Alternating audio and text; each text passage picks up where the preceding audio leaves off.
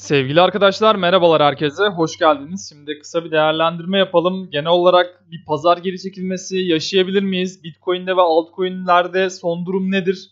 Yeni haftada bizi neler bekliyor bunları konuşacağız. Fakat analize geçmeden önce ANT coin'ini sizlere göstermek istiyorum. Hatırlarsanız en sonki videolarda VTC, ANT ve QI coin'inden bahsetmiştim. Geri kalmış olarak e, dün QI coin'inden hareketler gelmişti. Bugün de ANT coin'inden yaklaşık olarak %20'ler civarında bir hareket geldi.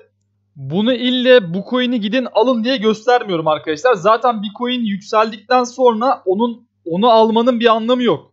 Bizler de zaten bunun tam tersini yapıyoruz. Yani yükselen coin'den yükselmeyen coin'e geçiyoruz.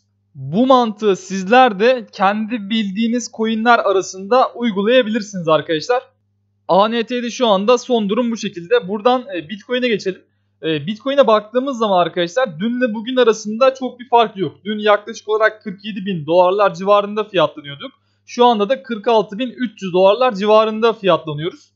Bugün akşama doğru diğer piyasaların ufaktan açılmaya başlamasıyla birlikte bir miktar para çıkışı görürsek bu gayet normal bir şey olacaktır. Panik yapacak bir durum olacağını ben düşünmüyorum. Zira yeni haftadan oldukça umutluyum. Yeni haftada bizi muhtemelen güzel haber akışları bek- bekleyecektir arkadaşlar. Ee, ve ilerleyen günlerde, ilerleyen haftalarda Bitcoin'in bu retestiyle birlikte 52 binlere doğru e, gidip buradaki derinliğin yukarıya doğru fiyatlanmasını bekliyorum. E, bu fiyatlanma da konferans haberleriyle birlikte e, olabilir arkadaşlar. Sonuçta bu kadar başarılı ve Bitcoin'i seven insanlar toplanıp e, piyasayı kötü etkileyecek bir haberin e, piyasaya düşmesine sebep olmayacaklardır diye düşünmekteyim. Genel olarak yeni hafta adına umutluyum yani. Destek noktamız da arkadaşlar e, hala aynı seviye yani. 45-46 bin dolar bandı. E, bana göre geri çekilmelerde destek olarak çalışmasını bekleyeceğim nokta olacak.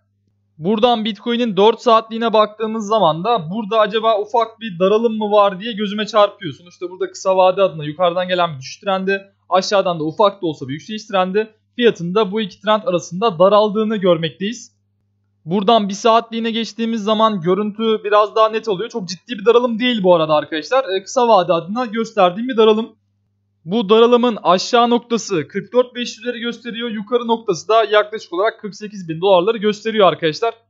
Ama bana göre bunlardan ziyade günlüğe odaklanmak biraz daha man- mantıklı geliyor arkadaşlar. E, genel olarak günlükteki durumda ben gelecek olan geri çekilmelerin veya ki şu anki e, geri çekilmelerin bir retest hareketi olduğunu düşünüyorum. Sonuçta biz e, bu seviyelerde ciddi bir kırılım yaşadık. E, geri çekilmeye de bu noktadan alıcımızı bulup ardından derinliğin yukarıya doğru fiyatlanmasını beklemekteyim.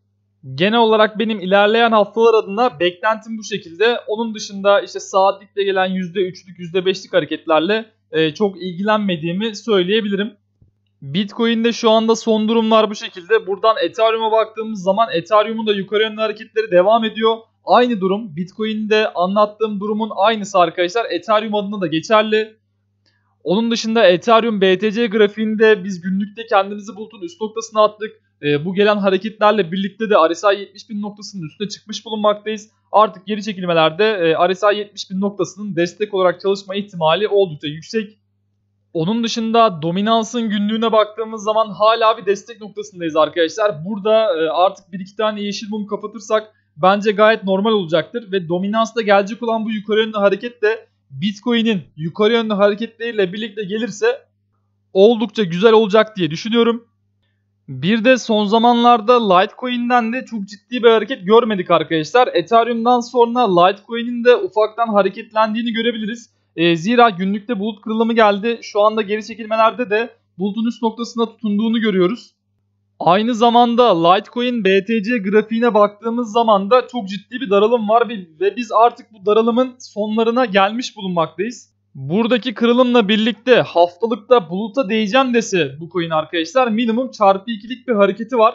E, günlüğüne geçtiğimiz zaman da en son gelen yukarı yönlü hareketlerde bakın e, bulutun alt noktasına her defasında takıldığını görüyoruz. Artık bir sonraki denemesinde bu noktayı kırıp e, bulutun üst noktasını hedefleme ihtimali de yüksek. E, aynı zamanda dolar grafiğine baktığımız zaman da e, görüntü gayet güzel diyebilirim. Litecoin'de şu anda durumlar bu şekilde. Bir de XRP yorumlarda çok fazla şekilde gözüme çarpıyor. XRP'nin de BTC grafiğine baktığımız zaman arkadaşlar uzun zamandan beri e, bir yatay seyir görüyoruz. XRP ile alakalı eskiden beri söylediğim bir söz var işte durup durup patlayan bir coin arkadaşlar. E, yükseldiği zaman yükselmez, e, düşeceği zaman düşmez. Yatırımcısını her zaman çok süründürmüş bir coin. E, fakat e, böyle piyasanın tersine gitme potansiyeli de var bana göre. Zira geçmişte de böyle hareketleri birçok kez yaptı arkadaşlar. Şu anda da uzun zamandan beri yatay gidiyor. Açıkçası ben XRP'yi çok fazla sevmiyorum arkadaşlar. Çünkü e, bir harekete ne zaman başlayacağını kestirmek oldukça güç. Fakat şu anda grafik anlamında görünen e, artık bu yatay seyrin sonlarına gelmiş diyebiliriz. Her an ilerleyen günlerde ani bir çıkış yapabilir arkadaşlar. E, çok fazla böyle analiz yapmaya müsait değil. E, böyle bir anda piyasanın tersine yani piyasa düşerken de aniden yükselişler sergileyebiliyor. E, bu coin'de arkadaşlar bana göre yani benim tecrübelerime göre daralımları takip etmek lazım. Şu anda da burada gördüğümüz e, bu coin'in artık BTC anlamında çok fazla gideceği bir nokta kalmamış e, ve bu yatay gidişte illaki ilerleyen günlerde e, şu şekilde buralarda olduğu gibi iğneli mumlara sebep olacaktır diye düşünmekteyim. Mesela Neo'yu da yorumlarda çok fazla şekilde görüyorum arkadaşlar. Neo'nun da BTC grafiğine baktığımız zaman zaten çoğu altcoin'de benzer durumlar söz konusu. Bunu her defasında söylüyorum. Ee, ve ufaktan altcoin'ler zaten sırayla yükselmeye başladı. Artık bu saatten sonra e, sırası gelen ufak ufak yükselmeye başlayacak arkadaşlar. Neo'ya baktığımız zaman da mesela Neo BTC grafiği açık şu anda. Yani Mayıs ayındaki tepe ile birlikte gelen düşen trendlerin e, kırıldığını görüyoruz arkadaşlar. Burada artık yatay bir seyir başlamış.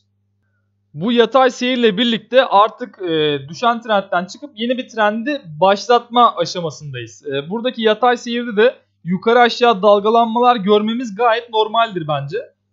Günlükte e, kendisini bulutun üstüne de atmaya başladığını görüyoruz arkadaşlar. Burada kapanışlar yaptıkça bu artık sürekli yukarıya gitmek isteyecek. Yer yer geri çekilmeler olsa da düşüşler yaşasa da yükseliş trendi demek her yapacağı yeni harekette e, bir önceki tepe noktasını aşması demek aslında.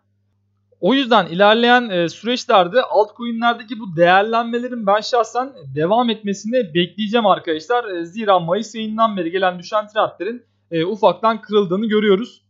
Genel olarak şu anda çoğu altcoin'in görüntüsü zaten aynı arkadaşlar. Böyle zamanlarda yeni yatırımcının yaptığı en büyük hatalardan birisi elindeki coin yükselmedi diye yükselen coinlere tepeden atlamak oluyor.